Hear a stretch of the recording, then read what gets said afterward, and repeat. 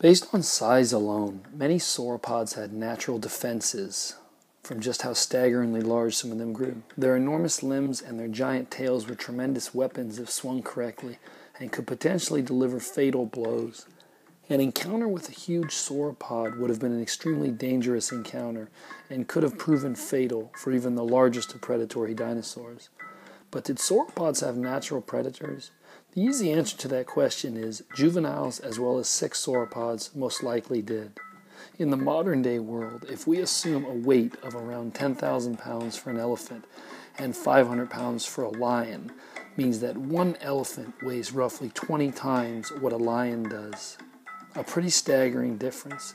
This is why hunting in packs is necessary. Predatory dinosaurs more than likely employed the same tactic as well. Let's use the example of a 10,000 pound theropod attacking a 50 ton sauropod. That would be 10 times the size of the predator. A mass of 10 times the size of the predator would make a solitary attack on a huge herbivore highly unlikely. Hunting in coordinated efforts together would have made taking down such enormous prey seem believable. Now let's add some juvenile theropods into the mix, adding some more meat and bulk.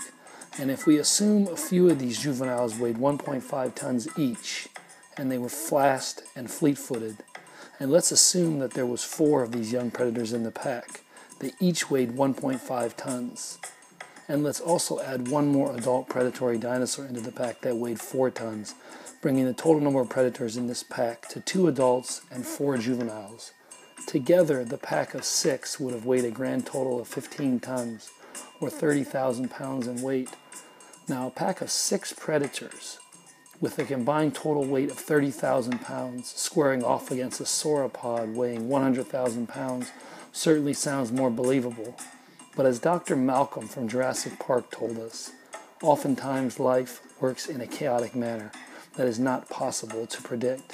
What if another adult sauropod joins in the fight against the pack of six, bringing the total weight to 200,000 pounds of sauropod against 30,000 pounds of theropods? You get the point. Life is unpredictable.